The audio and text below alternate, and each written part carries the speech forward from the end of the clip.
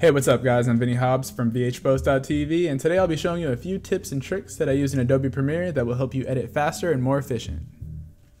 Today I'm going to highlight the importance of an organized project and timeline. This will help you as an editor work steady and smoothly throughout the entire edit process.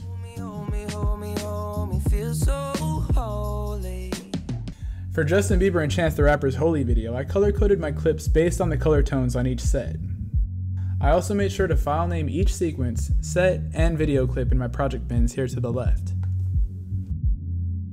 Color coding, bin organization, layering, and file naming are all useful practices to apply in your projects. This will help you navigate the endless amount of files that come with an edit. The first step pleases the Father.